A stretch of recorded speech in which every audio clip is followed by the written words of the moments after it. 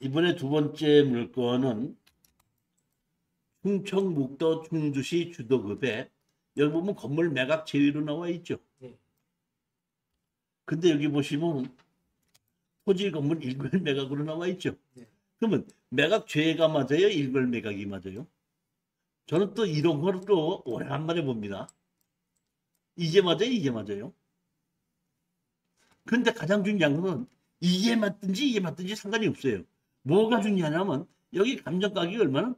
8,100만 원이죠. 근데 건물 매각제로 만들어 가지고 감정 가격을 4,800에 시작이 됐다는 겁니다. 중요한 건 이게 중요한 거예요. 근데 실질적으로는 토지 건물 일괄 매각이에요.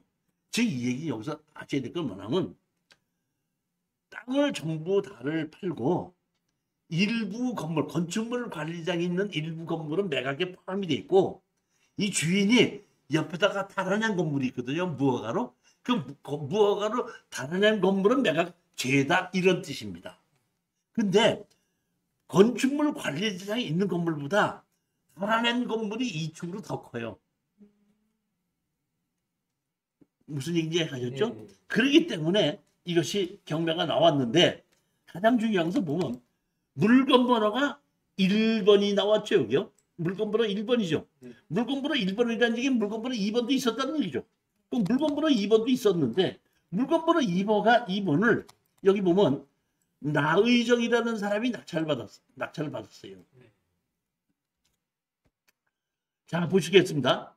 그럼 이것은 어떤 땅이냐면은, 자, 먼저 번에 낙찰 받은 땅 얘기하는 겁니다. 물건 번호. 2번 얘기합니다. 이것이 가치 경매가 나와서 이 땅과 여기에 있는 것이 경매가 나오는데 이거는 무슨 하면 창고 부지입니다. 창고가 여기 이렇게 지져져 있고 이거를 라의저희가 며칠 전에 낙찰을 받은 거고 지금 경매로 나온 것은 여기 뭐야? 여기 본 건물이고 여기가 달아낸 건물이고 그렇습니다. 아니 여기 달아낸 건물이고 이게 건축물 관장이 있는 건물입니다.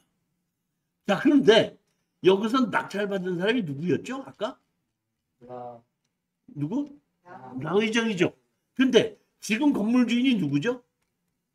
여기 보면 누구죠?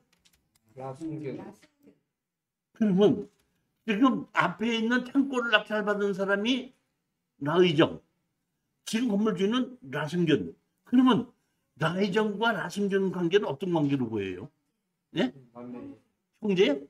형제가 돌린 말을 쓰지 어떻게? 자식 그렇지. 전 아들이라고 봅니다. 이게 보니까 여기 보면 뭐예요? 64년생이죠. 그러면 30살이라면 94년생이라는 얘기야. 그 아들 이름으로 산 걸로 봐요. 그러니까 이그 땅의 재산을 지키기 위해서 지금 아들 이름으로 샀는데 뭘 먼저 샀냐면 창고 부지가 한 열흘 전에 먼저 나왔거든요. 그러니까 창고 부지를 지키기 위해서 샀죠. 그러면 창고 부지도 지킨 사람이 지금 자기 본 집을 지켜야 안 지켜요? 지켜야 되죠. 자 보시겠습니다. 본집을 한번 지금 정면으로 나온 본집을 한번 보시자고요.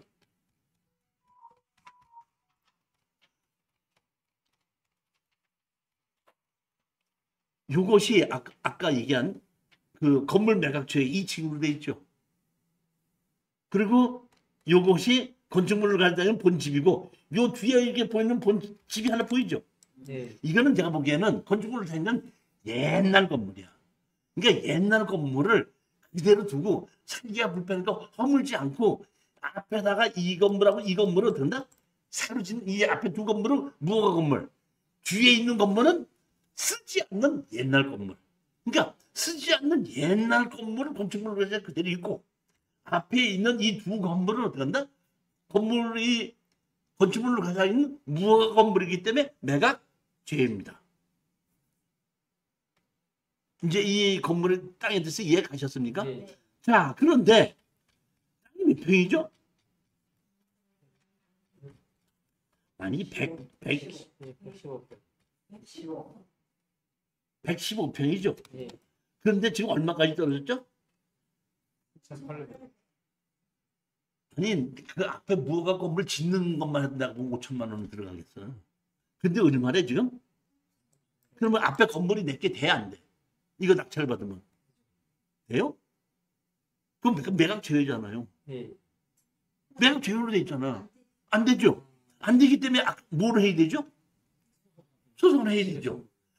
아까 제가 그런 소- 소송을 책 쓴 것이 이랬을 때 이거를 낙찰 받고 소송을 했던 사례가 거기서 다 나오는 거예요. 이해 가셨죠? 예. 그러니까 제가 지금 뭐 작전 문제 우리가 입찰에 들어가려면 가격을 결정을 해야 되는데